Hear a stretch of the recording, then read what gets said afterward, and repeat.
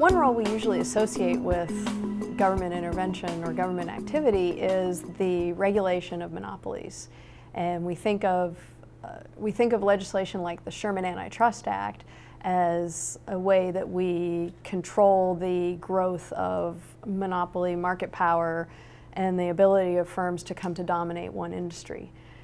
And the, the history of this kind of regulation teaches us a lot about the, the economic processes that drive uh, innovation and economic activity and whether or not uh, regulation in these natural monopoly situations actually provides value and makes consumers better off. Take, for example, the electricity industry. By the 1890s, it's really starting to grow, especially in large cities like New York and Chicago. Initially, they were very rivalrous. A lot of firms entered the market to provide electric service in larger cities and competed against each other. Uh, the kinds of innovations that happened in this industry were of big scale. Large generators, lots of long wires, uh, connecting large generators in places like Niagara Falls to cities like New York. And that changed the cost structure of the industry. and changed the cost structure of the industry in a way that the electric company that owned this generator, their fixed cost was very, very high for building these big generators, but then their cost for serving an additional customer was really, really, really low. And so that meant that their average cost per unit of electricity they sold and their average cost per customer really fell and fell over the course of serving a large number of customers. And in economics, we call this economies of scale. And this economies of scale in the big technologies in industries like electricity really make it challenging to have rivalrous competition. So in Chicago, for example, in the late 1890s, there were about a dozen different firms providing electric service in the Chicago market. But as they competed against each other, they competed so much that they were lowering their prices, lowering their prices, lowering their prices until price would go so low that they couldn't actually pay all of the fixed costs that they had incurred to build the generators in the first place. And not all of the companies could stay in the market. And that process over time led to the consolidation of the electricity industry in cities like New York and Chicago into one large firm. And that firm could, as a monopoly in that market, charge a high price to consumers.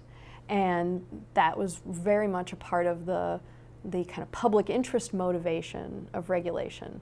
The, this progressive era suspicion of large corporate activity, suspicion of large companies, and also the progressive era belief in the ability of government regulation to stand in for competition and correct the imperfections that they saw. There's also a more kind of public choice motivation looking at the incentives and the interests of both policymakers and the industry they have an incentive to embrace regulation because regulation constructs a legal entry barrier and says in a particular geographic territory, you will be the only firm allowed to provide retail electricity service to the people living in this area.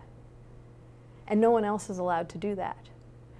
In return for government protection of your monopoly power, we will regulate the profits that you earn on your assets and in that process regulate the prices you can charge to consumers. And we're going to shoot for trying to keep those prices at around average cost per unit of output to try to keep prices as low as are sustainable in the long run, but still consistent with the firm investing in assets and earning a return on their assets. And so that's the regulatory compromise and uh, and that's one reason why industry actually embraced regulation in electricity. One of the presumptions on which regulation is built in this industry is one of, of sort of stability, that we have a static environment, right? And so, you know, this is the cost structure in this industry, boom. This is what kind of assets firms are going to build, boom. And so we can figure all that out and back out what the right profits are and what the right prices are. Uh, the information required to get that right is, I would argue, unknowable. You know, they just think, okay, here's this demand for electricity, and we have to meet this demand. But now, especially with air conditioning, uh, we see demand fluctuating dramatically over the course of the day. And yet we pay this fixed averaged retail price that gives us as individual consumers no incentive to change our consumption even at 5 o'clock when it's 95 degrees out on an August afternoon. I would argue that, that today, here, you know, here we are in early in the 21st century, that now is when we're really seeing the cost of regulation in terms of how it stifles innovation.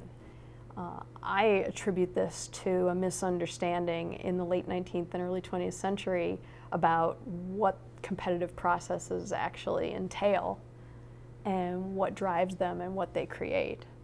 And that's where we are now is trying to deal with the fact that the regulatory system of the past century uh, doesn't address, you know, hasn't adapted to, hasn't evolved along with the ways we use electricity, um, the new ways we may generate electricity, including renewables. It, it, hasn't evolved to take into account the growth of digital technologies that we can use to you know, basically program and monitor our own electricity use and respond automatically to price changes. And so I think that's where we are now, is on the brink of, of recognizing the costs of regulation. We've focused for so long on the benefits to consumers of having these low, stable, fixed prices and universal service. But now these low, stable, fixed prices are leading to a lot of electricity consumption in peak hours when it's really expensive to provide it for us, and also the environmental concerns. You know, it's generating a lot of emissions in the process. And so those are the 21st century challenges.